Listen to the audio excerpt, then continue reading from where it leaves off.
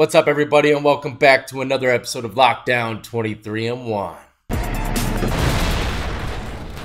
That's right, ladies and gentlemen. A lot of you already know I got some new content coming your way today. People doing stuff that's not a crime, but it should be. I got a lot of clips, and also I got a lot, a lot of little uh, humdingers to throw in there that really doesn't have anything to do with anything. They're just gonna be funny as hell. So prepare for the ride, ladies and gentlemen. Buckle your seatbelt, tap that like, subscribe, notification bell, even if you don't enjoy. Like that reverse psychology there? Anyways, let's get into it.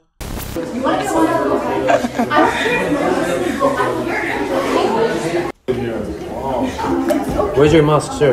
Mask quarantine. It's okay. It's her house. Where's your mask, sir? Where's your mask? house. It's her house. Which whose house? Hiya. Whose house it is? She's responsible for this. It's her house. She's responsible for this.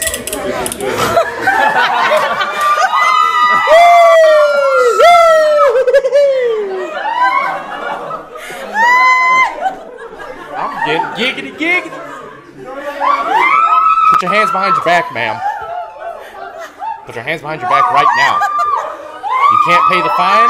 You're gonna pay some way. You can't tell me your best friend is dumber than mine. Yo, can you arrest me so I can sit with my best friend? up, oh, bro. Shut the fuck up. It's not even a joke anymore, bro. It's never been a joke. It's never been a joke. I've always been your best friend. I'll ride to hell with you, man. What would y'all do? Would y'all ask the same question? Lock me up, officer, so I could go chill with my best friend. I ain't never seen no shit like that in my life. You hear his homeboy, he's like, man, you're a freaking idiot. Uh, this is what a Cat D prison looks like. I don't know what Cat. Damn!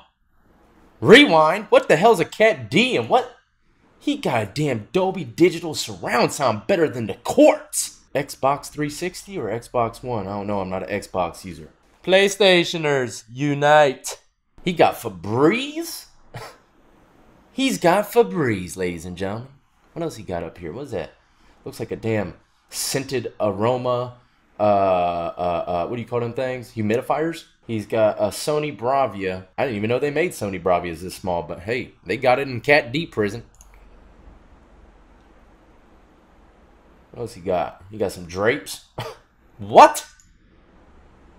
Full grown plants and everything, man. That's a nice prison yard. Shit, that's nicer than some of the houses I lived in growing up. I don't know what Cat D prison is, but someone could look it up for me. It's probably some overseas and Ireland shit where dudes get life, but they, they can still drive to and fro everywhere. They still get license and cars. They go grocery shopping and shit. They do anything. The same thing. Just got to report back to their damn Hilton.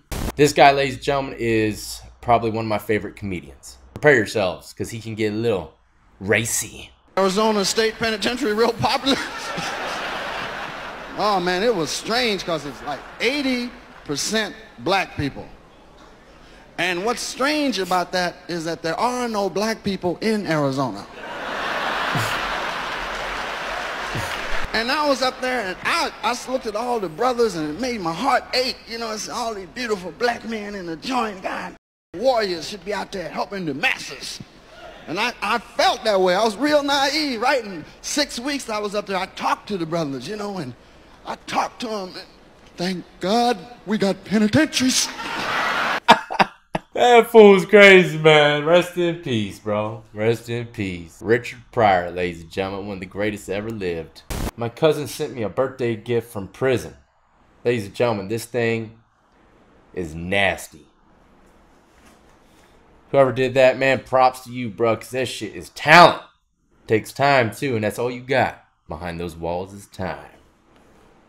in prison, if someone calls you a goof, you have to fight them.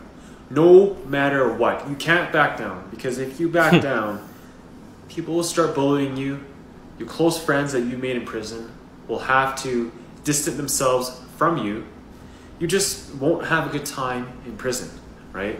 And it basically just means get out or fight, right? That's what goof means. Get out or fight. Look, that might, that's just a West Coast thing, ladies and gentlemen. Because you come over here East Coast, you call me goofy, I'm gonna look at you like, bro, is that supposed to hurt me? I I didn't even hear the term goofy except for like Disney, watching Disney, you know, Goof Troop and stuff like that. I, I didn't even hear or think of anything, you know, goofy footed skateboarding. Uh, I didn't think that it was a hostile word until I started interviewing cats from California. They take that shit serious. But it is what it is, you know, things are different everywhere you go. But uh yeah, goof ain't too extreme to me. I'll be goofy any day of the week. And the only reason why someone would call you this is because they really hate you. The only reason why you would call someone else this in prison is because you really hate them, right? And you want to, you know, fight each other. That's the only time you ever call someone that. Wow! Prison's so primitive. We're gonna fight each other to death because you called me a goofy. And one of the rules of not backing down is because you got to think of it, right? The word goof, the word goof, it's equi- it's equivalent to saying a racial slur to someone, right? It has that much of an impact on an inmate. It's like saying a racist word to an inmate. Thank you at tfit780 if y'all want to go follow him. Obviously, he's giving up some uh, information about the prison system. He's probably done time over there on the West Coast, but he is cut up like a bag of dope. Ladies and gentlemen, he's probably definitely giving out some good workout videos. Do some of y'all really get a job as a CO to find the love of your life? Can you imagine those girls that probably actually do do this stuff and uh they go in there and they're just like looking up everybody's profile to see, you know, their their charges and stuff, see which one's about to come home, which one's the best looking, which one has doesn't have crazy charges. I mean, it's like a dating game that you have complete control over. Do female COs do this? I'm almost positive some do. I mean, they wouldn't be joking about it if they didn't. But it's funny how she's reacted to it. Hey! Hey! How y'all doing? Now, ladies and gentlemen, like I said, uh, people doing stuff that's not a crime, but it probably should be. I don't know. This is probably a crime. I don't know if he got caught, but what is he even doing up there? What? What is he doing? This guy gotta be drunk. So I'm guessing this is like the luggage area of the airport. I've never been, you know, on a plane, so I don't know too much about this stuff, but he's hanging on. Oh, there goes a shoe. Bruh, your shoe.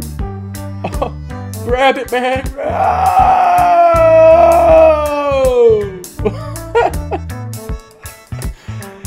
oh, there goes the shoe. Oh, shit, shoe's gone. Where is he going? Oh, he threw the other shoe off.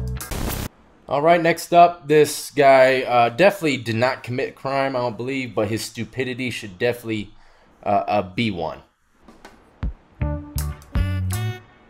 Walking out the car, about to get on the boat, enjoy a nice little fishing trip with uh, Uncle Bobby. Oh, bruh, look at your car. Holy shit, he's running fast, so look at him. Is that a Tesla? Shouldn't it be driving itself? Oh. Oh. That is so shitty, man. I would have said to myself, damn, it's floating. I might still have a chance. Ladies and gentlemen, if a car does that, is it uh, fixable? You know, if it's completely waterlogged like that, if someone just pulls it out of the water, tows it out the water, uh, and lets it drain or whatever, you, will it still work? You know, just throw some rice on it or something. I don't know how that how that goes with cars. I know you're not supposed to start them if they fall into water or something, but uh, what do you just let it drain out, dry out? I don't know. Ladies and gentlemen, I don't I don't agree with calling the cops on petty shit, but I would have called them this day.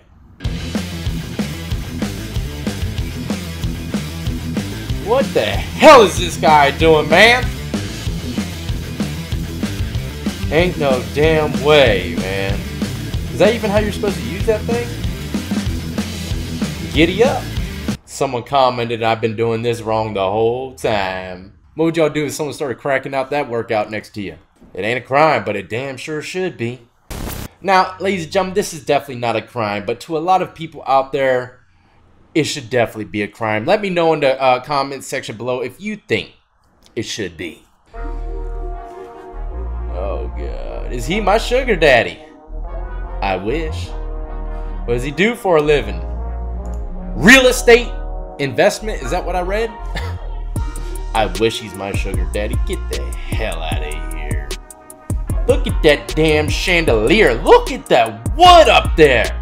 Looks like they got that wood from those trees floating in the Amazon. For like the last 200 years, they've been floating at the bottom of the Amazon. You pull them up, they're worth some money, right? Looks like he built his whole damn house out of that shit.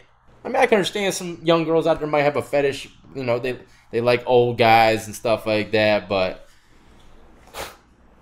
ain't nobody gonna believe he ain't your sugar daddy. Ain't nobody. Especially with a chandelier like that. And the only thing that's really throwing me off here is his swag, you know, his dance moves. I'm 36 and Donnie's what? She's 36.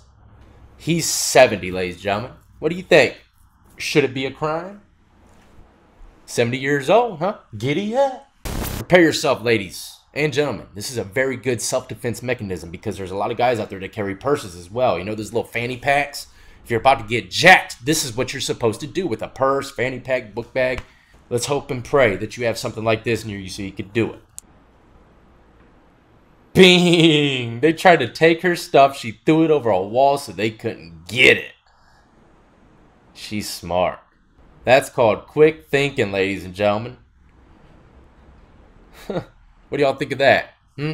Ladies, got a purse and you're next to a high wall or something, or uh, a store, you see someone trying to come jack your purse, just wing that shit there, man. Let them go get it. I'll throw my shit in the damn Hudson River before I let someone else get it. You know what I mean? Jump in there if you want to, bruh. She really tried to run. Oh, goodness. Running's not a crime, ladies and gentlemen, but this one definitely is a crime running from the police. Don't do it, especially if you can't run 40 yards in less than 10 minutes. Leave. Vince, let's go. Vince, help me! I would have outran the shit out of that cop, though. I could tell right now by his forearms, I would have dusted his ass off. I would have went straight in the store out the back door. I would have been running so damn fast the cameras and all the brand new facial recognition technology couldn't catch up.